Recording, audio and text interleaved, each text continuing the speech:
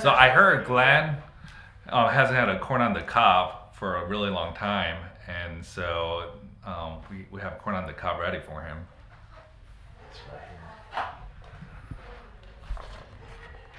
Beautiful. Yeah. I love that. Great. Yeah. Oh, I love it. awesome. Hey Glen, here you go. Still nice and warm.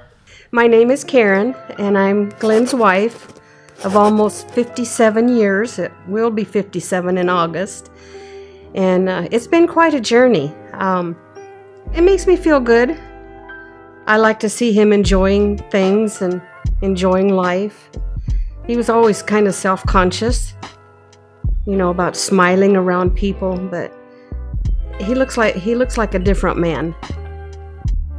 My name is Glen. I just had an all on X with Dr. Lee.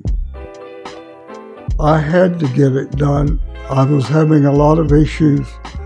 I couldn't, I could not chew right. I had to eat a lot of soft foods. And uh,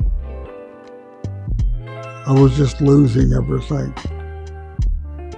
And it felt like my face was caving in. And it was kind of a painful journey for me.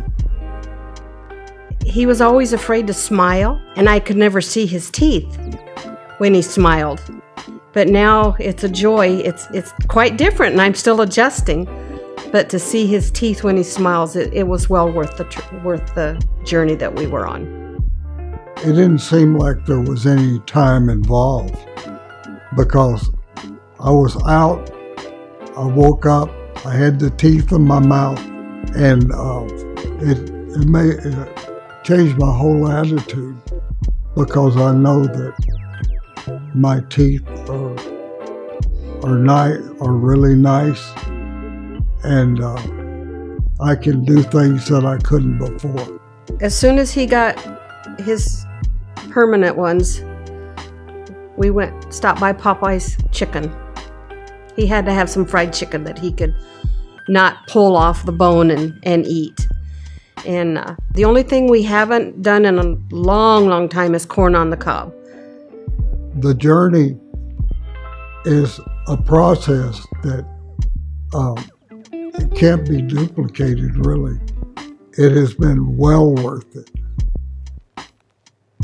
Hundred percent because uh, I feel like uh, a different person now that it's over